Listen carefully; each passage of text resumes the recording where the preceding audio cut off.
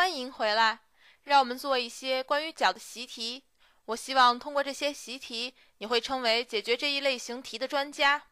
好了，让我们开始吧。我们有一个五角星，已知下面这个角的角度，这个角在这儿是四十一度，我标一下四十一度。我们知道这里的这个角，它是一百一十三度。我们还知道。在这儿的这个角，它是一百零一度。在这道题里，我们要求一个角度，哪个角呢？在这里，橘红色的这个角。而且，我们要必须弄清楚这个关于角的习题的最终目的。我们要弄清楚这是什么角，然后像往常一样，我鼓励你暂停视频，自己尝试解这道题。利用以前学到的公式定义来进行解答。如果你遇到问题，然后再播放视频，我希望我会帮助你解决你遇到的问题。好了，说了这么多，现在让我们继续看这个。我们看这三个粉色的角和我们要求的这个角。那么我们要怎么才能求出这个角呢？用什么公式定义呢？我们知道，在这的这个角是它的补角。它们互为补角，但是似乎很难求出这个角，因为它不属于任何一个三角形的一部分。如果我们弄清楚这个角和这个角，我们把它用绿色标记，这样我们就能求出这个角是多少了。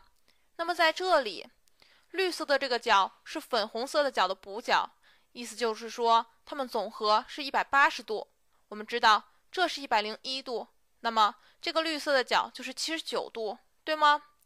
那这个角是多少呢？好了，我们看，它是这个三角形的一部分，但是这并不能帮助我们，因为我们不知道这个小绿色的角是多少。那么，让我们这么想，这个角出来是这个三角形的一部分，还是哪个三角形的一部分呢？这就是我为什么喜欢做五角星的问题。因为你第一眼看去，这些三角形不是很明显，但是你很快发现，它不光是这个三角形的一部分，还是这个三角形的一部分。这个三角形，我们换个颜色，清楚的标出这个三角形，这个红色的三角形。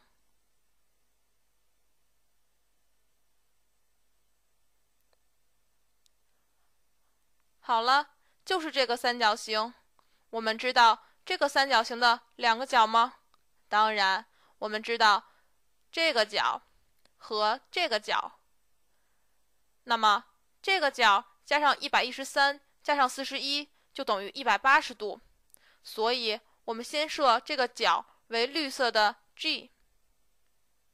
我们有 G 加一百一十三加四十一。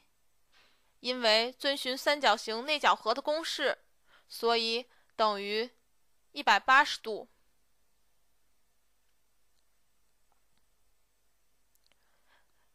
计算 G 加一百五十四等于一百八十度，所以 G 就等于二十六度。一百八十减去一百五十四等于。二十六，对吧？所以这个角就是二十六度。我们知道这个角的角度了，也知道这个角的角度了，这样我们就能求出这个小三角形中这个角的角度。那么，我们就来看这个小三角形，这个小的绿色的三角形。我们继续设这个为 x，x 加 g 角的二十六度。再加上这个角的七十九度，为什么它是七十九度呢？因为这个是这个一百零一度的补角，等于一百八十度。x 加一百零五等于一百八十，因此 x 等于七十五度。我们求出了 x，所以这儿的 x 角等于七十五度。这道题我们解出来了。现在我们再做另一道题。好了，我们清理一下。我在想。这个软件是谁设计的？真是个天才，随便一下就能擦干净了。要是在学校的黑板上，不知道要擦多久呢。好啦，来回到正题上吧。现在我们画一个两个相邻的三角形，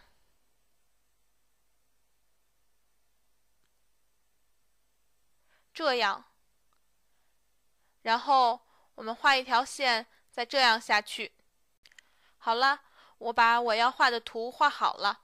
我画好了这个三角形，让我们看看我们要用这个三角形做什么样的题呢？好，我来告诉你，这个角在这儿，这个大角它是八十六度。我们也知道，这个角在这儿是二十八度。我们还知道这个角在这里是一百二十二度。那么问题来了，我要求这个，我换个颜色，我用粉红来表示这个角的角度。我先求这个角是多少，因为如果知道这个角后。我们就能知道这个角是多少了，这很简单，对吗？我们知道这个三角形里的两个角，所以我们说这个绿色的角为 y，y 加上一百二十二加上二十八等于一百八十度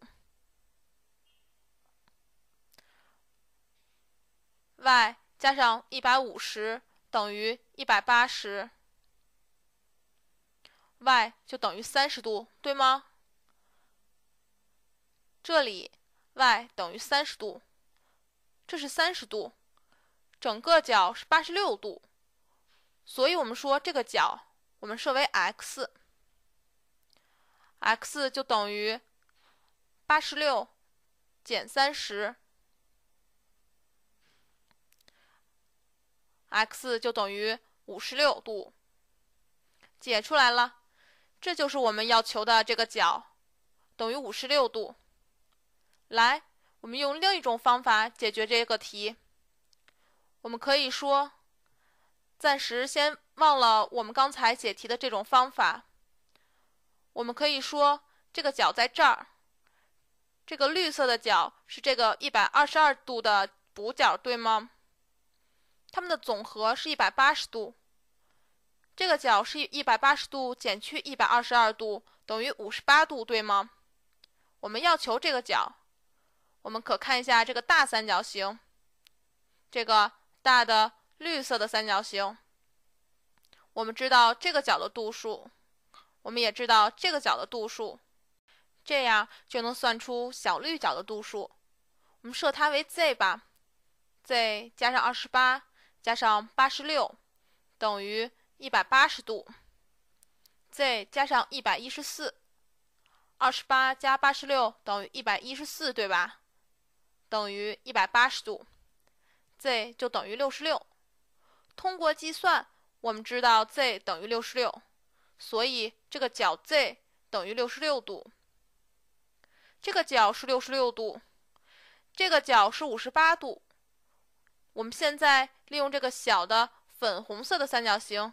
来计算这个角，还是设 x，所以 x 加六十六加上五十八等于一百八十度。X 等于六十六加上五十八，x 就等于一百八十减去一百二十四，然后我们得到。x 等于五十六度，好极了，我们得到这个角等于五十六度，这里也是五十六度，八十六减去三十等于五十六，对吧？我们又一次得到了五十六度。我们用了两种不同的方法，得到了相同的答案。同样的一道题，我们用两种不同的解题思路进行解答，这样有助于我们更好的理解和解决这一类型的题。好了，今天就到这儿了。下堂课见。